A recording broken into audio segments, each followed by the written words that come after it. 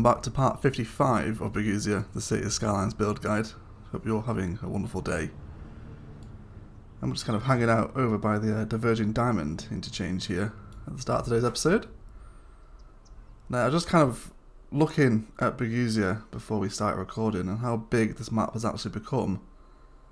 It's, uh, it's quite the build. And uh, we are slowly coming to the end, I believe. Uh, which is a little bit sad, but it's nice to kind of see things completed. The last episode we worked on our University of Liberal Arts and you guys uh, really enjoyed this build. Uh, it turned out quite nicely. The trolley buses are doing nicely as well. Uh, we kind of grab one here. Let's come out of our road tool. So it's getting some usage. See there's like 68 people at this stop over here. So it's definitely getting some usage. Probably not the most efficient spot for a stop right there. He's uh he's blocking the, the garbage truck, but that's fine. And uh, yeah, started expanding the uh, the town over here slowly, which will definitely continue. Kind of making this a little more important and special on the live stream. Doing some detail over here as well. Kind of where the uh, the Sunken Railway passes under the highway here. So yeah, still uh, still lots to do. And in today's episode, what I wanted to start working on was uh, the mountainside community. So we are finally going to be introducing some cable cars, which have been long, long requested for the city. Always have questions saying, when are the cable cars going in? when are we using cable cars? And today is the day, finally. So we're going to have kind of a cable car system that runs from our downtown transport hub over here. This guy is a little bit sick from noise pollution, you're too close. So we have our secondary main transport hub over here using the, uh, the monorail and train hub. So with cable cars, um, there are a few different kind of things you can use with them. So obviously one is like a cable car stop, uh, and this thing has kind of two lines coming out either side of it, and then there is an end of line cable car stop as well, which you know kind of does what it says on the tin. This is uh, the the end of the line, so to speak. So if we just kind of place this here, then it's a pretty nice looking building. We use these in Fremwood um, to kind of take people back and to from the ferry stop into the downtown and it got a ton of usage. It was actually worked out really well. So we just drag out our cable car stops like this, and we can see we have the elevation incline step down here as well. And that's just going to control how much we go up and go down. So I think we just kind of draw these things out. So kind of come up over the highway. And these things do look really cool when they're kind of flowing. Kind of cool to have it go over the highway as well. So the edge of the map is right here. Now I'm guessing kind of these two slopes here will probably be the best for the mountainside community, I imagine. Just trying to find a good place where they'd look out. I think right up here in the mountain, we may place like the observatory up here. One of the unique buildings. Have a little dirt road that kind of circles up. And then we'll also link this guy in with the road as well because uh, over at this interchange here we have this road that currently leads nowhere. So we can um we can definitely hook that in at some place as well. Remember we want to give these guys as many connections as possible. So we'll carry on with our little our cable car road here and we'll just keep progressing up the mountainside. So it's like we're going to intersect with the road here a little bit so we should be able to come up. We'll come up a little further again as well just want to make sure that we're not kind of too close to any road or any kind of trees to uh, clip through. We also had a couple suggestions as to why we didn't use monorail over in the, the theme park uh, over on the zoo. Uh, and that would have been a really nice idea. It's just something I didn't think of during the build. We ended up going for monorail instead, but uh, cable cars are really nice assets to use within your theme parks if you want to kind of use something a little different.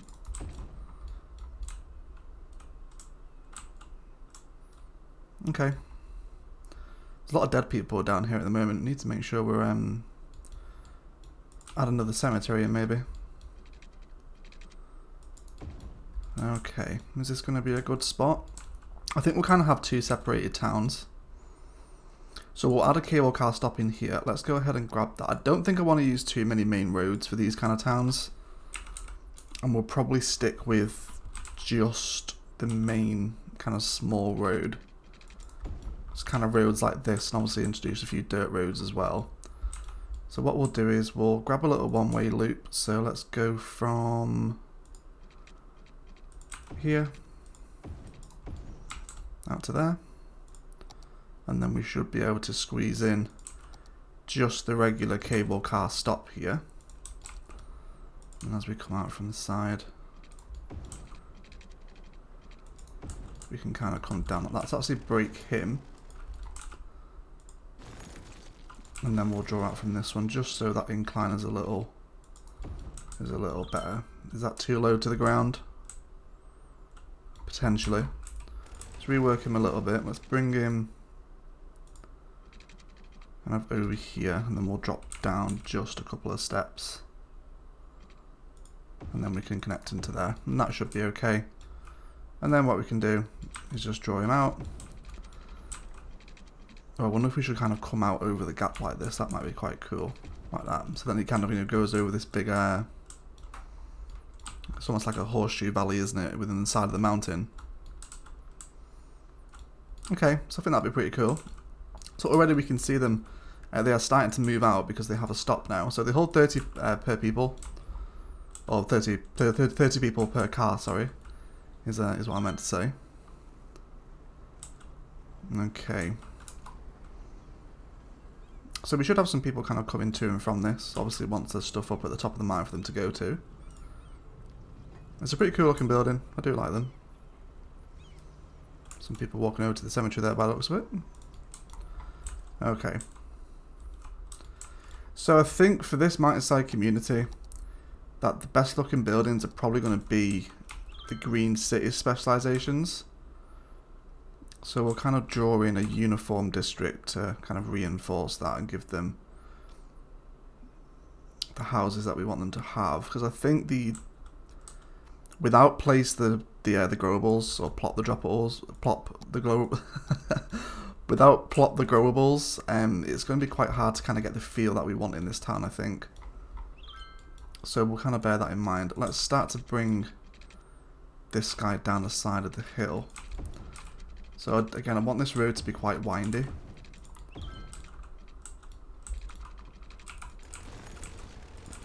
Maybe bring him out a touch further. There we go. So it's like slowly climbing the mountainside, and this will look really great at night because the uh, kind of the street lights will be lighting this little windy road up. So I really want to kind of factor in the natural shape of the mountain. So let's see. Looks like this would probably be the smoothest descent. Maybe this one right here. I think we'll do this one on the right hand side just because it looks a little nicer passing by that rock feature that comes in with the map. So lots of tight turns. And then we'll just kind of keep coming down like this. And then let's draw in this main road that's going to carry on. Then he can just go over there for right now.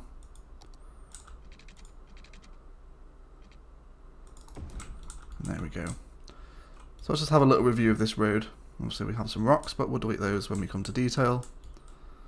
So it's slowly climbing. Just kind of follow it around and make sure there's no too steep sections. Yeah, this is okay, I think. Lines all the way up, and then we can already see kind of the cable cars coming out of the downtown here as well. That's going to look really cool. And then we're coming up, nice and smooth. And then we arrive kind of at what would be a mini town centre, I guess, and then we can draw some streets off by using some dirt roads and get some some that kind of mountainside suburbs in. So I think what we'll do here, we'll have some kind of I believe that we have already used all of our unique plazas, have we? We do have the Statue of Industry. How would this look here? Does that look a little janky? I think it does. I think we'll have to terraform here. So let's go ahead and grab our smooth land tool, or level terrain. And then we'll kind of level this little plateau out from the the start of the road. That should make it a little easier to place this thing in and then we'll make kind of a very obvious cliff face. So this would be a nice little viewpoint. So let's actually draw in the roads first. And then we can place this guy in like that. Fantastic. Okay, I think that looks pretty nice, having the Statue of Industry right here. Looks out over the city. Almost, if you know, this city was uh, founded on its prestigious level of industry that it has. I really like that. It's kind of a perfect asset to kind of sit on the cliffside like that. I think we will maybe make these roads a little nicer where the statue sits. That seems like it might, might be a nice idea. And then maybe let's drop in a nice kind of fancy dirt path. Uh, with the zoo path maybe. Yeah, okay. Always get the zoo paths in. Alright, so let's look at some specializations. So I think we will go green cities for this. Uh, for residential and commercial. We'll kind of see. We'll maybe try an area that has just the regular stuff and see how that kind of fits in with this small town theme. But anyway, we'll carry on mapping out our road network. So the main town will kind of zoom out here. It's like we're a little too close to the to the cable car for that road to make it through. So we'll we'll carry on with this fashion over here and we'll just take him over there for right now. Leave him like that and then we can hook our cable car back in. Let's delete him on this side. So I think as for around here, we'll have some nice commercial that sits opposite this. And then maybe some on the sides as well. So because we're working with such kind of strange terrain here, we're going to get a lot of little different broken tiles and some very strange land generation. So we'll kind of make sure that we do the best to factor in different shape zonings to make this place look as nice as it does. So we'll go and hook in some power and water and then we'll come back once this thing starts to develop a little bit. So we've got some things beginning to develop. Again, we'll just kind of keep an eye on how this Green Cities theme develops.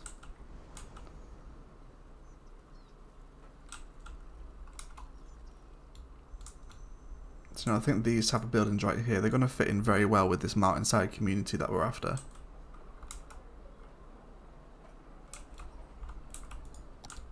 Maybe some here in the middle too. Maybe we can go for like a little, little bit of path decoration. So I think this forms a nice little town centre and this is going to start bringing a little bit of traffic uh, up to the mountainside community. We'll see. We'll see how it goes. So now we have kind of the little town centre going on. Let's go ahead and grab a dirt road. Grab the two lane gravel. And uh, let's start spamming out. So I want these curves quite small nothing too harsh. And the reason for that is I'm trying to generate the largest possible zoning tiles. And you can see if we make the the um, the curve very harsh, then we get all these very awkward shaped ones that we don't really like building on. So by doing this, we're just going to allow the largest possible houses to come in. So just have a few little arms off like this. Don't want it to be too kind of what's the word? Too uniform, I guess. Maybe have one that comes out from this one as well.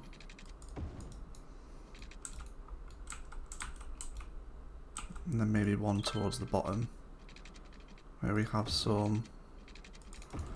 So again, I want to try and stick with the natural terrain that comes with this mountain. I don't want to be doing too much terraforming to get things to fit. And maybe one down here at the front as well. Okay, so we're going to do some kind of very selective zoning here. So we'll go for 4x4s, but obviously we're not going to try and pack them in very close together. And maybe the, the odd 3x3 here as well. We're going to kind of make this very lush forest to sit around all the houses as well. It should be quite nice. And I think I'm going to have them all facing out over the city. So, you know, I guess these houses would be quite expensive to live in. You'd have to have an awful lot of money to come live in kind of very secluded place like this. I guess you can kind of take it two ways. You can go kind of like very Beverly Hills with it, or you know, it's almost like quite a poor area to live. Entirely up to you, kind of which one you want to take it. Kind of how like we did with the um with this little thing down here. So this is obviously without the green city specialization. So these are the kind of houses we get generating in. You know, they look quite small town. It's nothing too kind of lush. I Guess we can hook this guy into this highway interchange over here as well. We'll do that at some point. Okay, yeah, so these are exactly the type of things I was looking forward to getting in. Obviously they will change as they level up, but I do kind of want the maximum level Green Cities houses here. So let's kind of get a little look from here. So he's got a pretty nice view already. So we'll keep waiting for those guys to come in and I'll go ahead and give them some utility services. Alright guys, so I've just carried on expanding the little road pattern here using the dirt roads and we're starting to get some houses come in. Uh, obviously the new jobs are abandoning uh, due to the new kind of population changes so we'll wait for this town to stabilise uh, before we kind of uh, keep waiting for this residential to go out. You know, once uh, these guys arrive here there will be uh, enough people for the jobs. So I've placed in a little community school here as well on the main road, kind in the entrance into kind of the dirt roads. And uh, we've placed a couple of little park assets just as a little kind of community hub. That's kind of away from the uh, the main cable car stop over here. And uh, we'll draw them some services in as well. So I think we'll stick to the the regular road for this and we'll just bring out a little curve just like that and then we can probably get in a fire station here too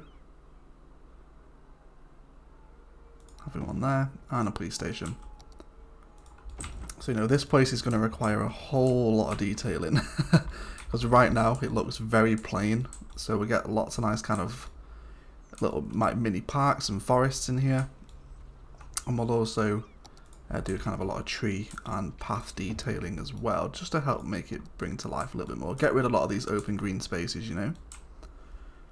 So I've also gone ahead and upgraded uh, the mountainside road into the two-way highway, just so they move a little faster because they were taking so long to get up here. Uh, we've also hooked in this guy to this uh, country highway interchange that we've got going on over here as well. So yeah, let's um, let's have a look at the observatory. So I think with the observatory, we're going to kind of have it right on the pinnacle here. This seems like a good place to pop it down. So we'll go ahead and do that. So let's grab our two-way highway.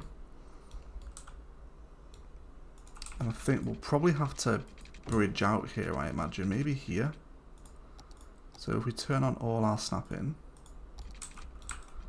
then let's have a little look. Let's bring our elevation step down to the lowest point I think how would the suspension bridge look if we came back down to ground over this way? Does that look ridiculous?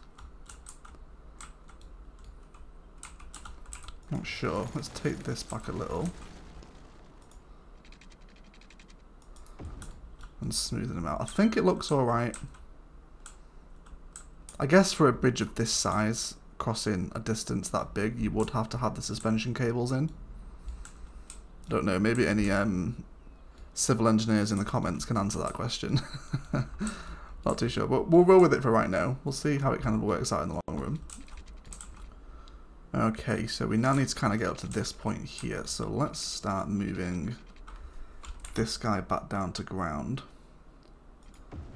And then we'll carry on that kind of snaking pattern that we've had going on around here. So slope too steep. Again, just keep double checking the road. It's always nice, you know, when you're making these kind of very steep mountainside roads in your city that you try and keep them as realistic as possible. No, they're always quite windy. At least, you know, we have a lot of these kind of roads where I live in the lakes. They're um, they are they can be quite fun to drive on. if you guys want to see one, you can go ahead and Google um either the Kirkstone Pass or the Wrynose. That's W R Y N O S E. Uh, have a look at that road and you'll kind of get a feel for this very windy, uh, tight mountainous road. I think I'm happy with the kind of the unevenness of this. It goes up and down. It can be a little bit of a dangerous drive. Okay, and this is going to be a good spot for our observatory. So let's go ahead and level out the terrain a little bit like we did for the uh,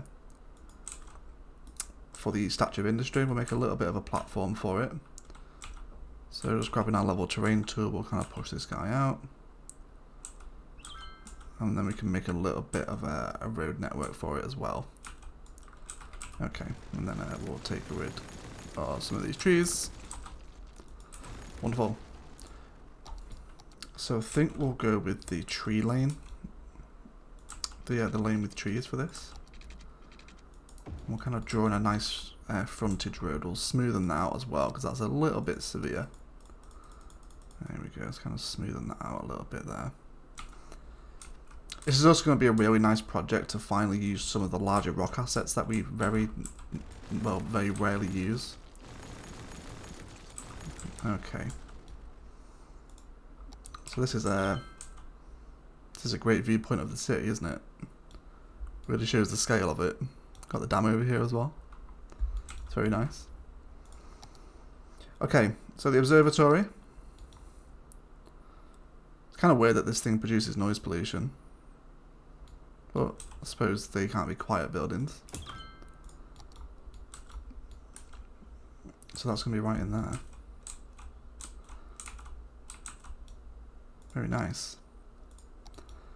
And then I guess we'll just kind of take this guy back. All our snapping is on. And then we'll just draw, I guess, a little box road around this thing. And then we can hook our two-lane highway into the side of it. Just like that. So we'll definitely apply some detail into this thing as well. But uh, it's certainly a nice way to use one of the unique buildings to give it its own surrounding and purpose. Very nice. So I do think the suspension bridge works. do quite like it. How are we looking kind of from the bottom of the uh, the valley here? Yeah, it looks alright I think, doesn't it? So obviously we'll need to carry on our cable car stop as well. So let's go ahead and grab this guy right here. And then we'll kind of keep sticking as close to the road as we possibly can. You know, I want lots of these nice kind of high beams that are flowing across. So that's going to be a super easy way for people to get up to the observatory from here. Alright guys, so that's going to feel like a good place to go ahead and jump into a detailing time lapse. I imagine it's going to be quite a long one because we've got a bit of work to do to kind of make this place feel uh, a little more kind of special. It's very plain at the moment, lots of empty green space which as we know we are not a fan of on the build guide. So yeah, well uh, we'll be right back.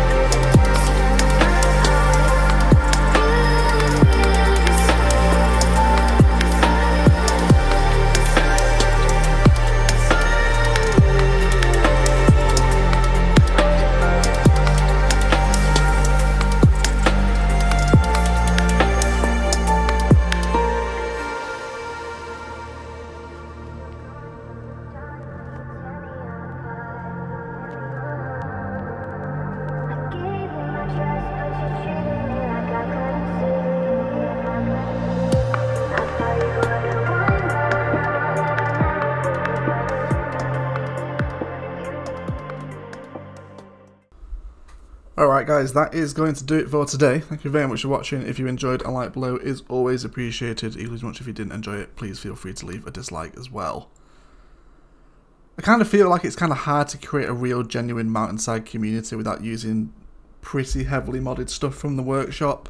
However, we've done our best to try and create a real dense mountainside forest, creating pockets of redwoods, some kind of exposed stone that's on the mountain, a couple of little rock features as well. The nature reserve fence works really nicely for kind of creating like a little roadside border. You know, it's not kind of stone or concrete, it's just what the locals have put up to try and make the roads a little bit safer. And uh, yeah, I don't think it turned out too badly in the end, and we'll definitely carry on adding some little features here and there within the live streams, but it's a nice little way to kind of round off uh, this corner of the map that was kind of totally empty uh, before we started here. Uh, hang around for the rest of the intro tag and tech out, or outro tag rather, and uh, check out some of the finer details we did. And uh, but yeah, that is it from me. Thank you so much for watching, and as always, enjoy the rest of your day.